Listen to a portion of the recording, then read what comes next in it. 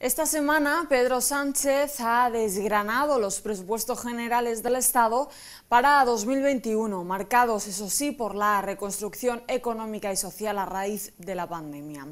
El PSOE de Málaga ha puesto en valor el montante que se destinará a la provincia, una cuantía que han valorado de la mayor inversión social de la historia. La vicesecretaria general ha defendido las tres patas fundamentales de estas cuentas en Málaga. Los objetivos que persiguen estos presupuestos es primero reconstruir, modernizar y fortalecer.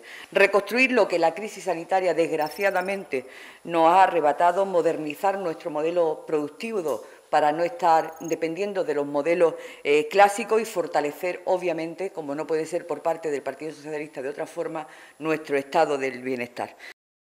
Por su parte, Ignacio López, diputado socialista, ha reivindicado que las cuentas del gobierno de Sánchez incluyen un incremento del 37% en las inversiones que recibirá la provincia respecto a los últimos presupuestos aprobados por el gobierno de Rajoy.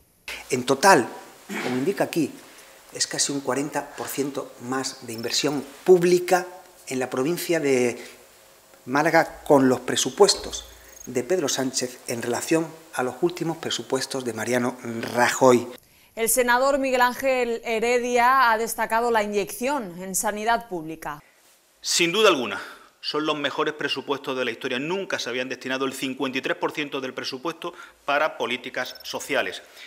Y mientras el Partido Popular cuando gobernó recortó en 8.000 millones de euros la sanidad, el Gobierno de Pedro Sánchez incrementa un 151% el presupuesto para sanidad.